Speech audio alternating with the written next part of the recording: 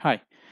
I had told you to submit all your documents to Instamojo, and they take around two to three days to get those documents verified. Till the time you are not able to start using, till the time you won't be able to use the Instamojo account. So, after a few days, you will receive an email like this, okay, from Instamojo, which says we have reviewed your documents and your account is now verified. Congratulations, you have been upgraded to a fully functional Instamojo account. Okay, so now what happens is now let me log into the Instamojo account. Okay, so I'm going to log in with the Gmail account which we have created. Okay, yeah, so now once you log in, again, you will see here there's a message which Instamojo shows, shows, shows which says your documents have been verified. Welcome to the full Instamojo experience. Okay, so now we have already created the store. Okay, the online store. But suppose if uh, in case you don't want to create a store, okay, or you don't want to get your uh, clients on the store, but simply create payment links of any particular amount and send them to your clients okay? What you can do is uh, once you have uh, once your documents are verified you will be able to see a button on the dashboard which says payment links okay?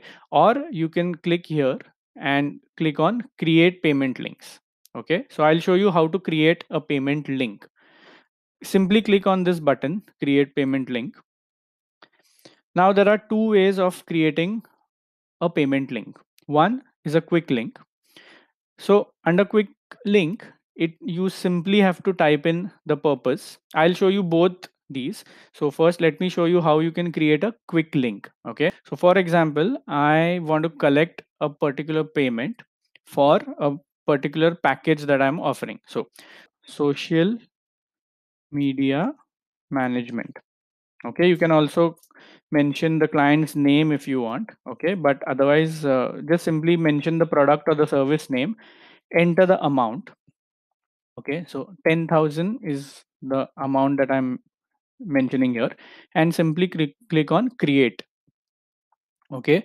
So there you go. The payment link is ready okay? Now if you want to preview how this payment so now here there are multiple options. You can directly send it to whatsapp okay you can send it via email okay? If you have a website you can simply copy the code and put it on your website uh, to a button. And there are these multiple options. So i'm going to show you now how the payment when someone clicks on this link how this payment link is going to look like. So let's go on preview link. Okay? So now here it shows paying to sanket fadke okay? Now this is the name which I had taken. Okay. But in your case, you can change it to your business name. Okay. So this can also be like paying to Creative 31 Minds. Okay. Or whatever your business name is. Okay.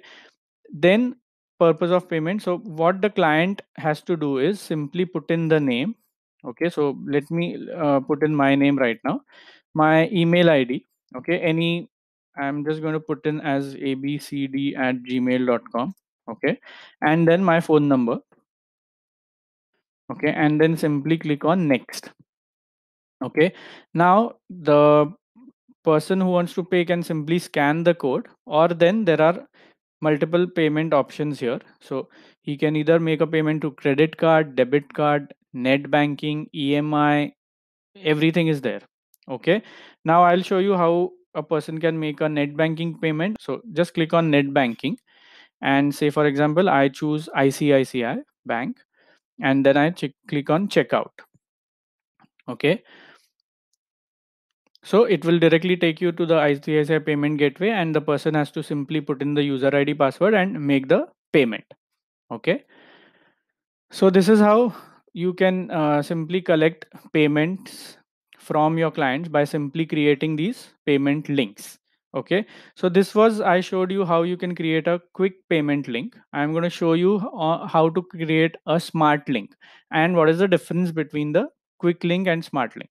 So in quick link we just entered two things that is purpose of payment and the amount. That's it okay? But under smart link you can actually customize it okay. So for example uh, let's say first it's asking for the purpose. So i'm mentioning social media management. Okay. And then it asks me the what is the pricing? So here i can either choose a flat pricing. So i can say 10000 rupees is what i need to collect. Okay. You can also create a discount code here okay? So for example you want to use this payment link to collect from multiple people and there are a few people whom you want to give a discount. Okay? So you simply mention a discount here code here. So i'll mention december offer. Okay? So this is the going to be the code and so i'm going to put in as uh, 8000 okay so the amount which you want to collect that is the amount you have to put. So it shows that 20% off okay? Under smart link you can also limit this payment link. So suppose if you don't want that if you want this uh, particular payment link should be valid only for say two days okay? So you simply create on expire link and limit payments okay? So you can either put the expiry uh, date okay choose the date. Or you can so for example today is 1st of december and i'm gonna i want this link to be valid only till said 2nd december midnight. Okay so i'm to put in as 11:59 pm okay so now even if someone clicks on this link after midnight tomorrow it won't be valid. Or you can also click on limit number of payments so if i want to only ensure that uh, say for example if you are having a product or service which you are offering to at 8000 only for the first 10 clients okay? So you can simply mention here 10 okay? Okay? And then click on next. So what happens here? This link will automatically get deactivated once you receive payment from 10 people okay. Now then click on customize link. Okay. Now here you can also customize the payment page. Okay. So for example if i want to add one image okay. So for example i'll add one uh, description here. So i can say enroll for the social media marketing package for three months okay? And then i can also add one image okay? So i'm going to add say this profile picture of mine okay? I can also change the color of the button okay? So uh, the display of this. So if i want to keep it as orange i want to keep it as blue okay? You can even choose your color codes if there are any specific color codes uh, that you have for your brand okay? And then you also want to collect information from the buyer. Okay so you can get these collect so whether if in case you are uh, after collecting the payment you want to ship that product. Okay so you can simply click on ask customer for shipping address. Okay or you can also ask for gst details. Okay and then there's last option which which is as smart actions. Okay so now there are three actions that can be done once the person makes the payment. So after making the payment do you if you want to show him a thank you note you can simply type in. So you can say thanks for making the payment. We will get back to you. Okay. So you can either give them a thank you note or after the making the payment if you want them to directly take to a website okay? So for example if i want to make sure that once they make the payment they are directly redirected to the payment to the to my website okay? So they can you can mention your website here. And the third option is of webhooks.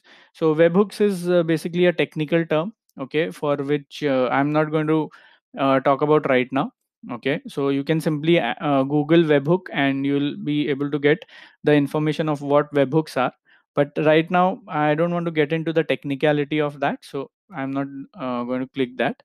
So then finally once all things are filled up you click on done.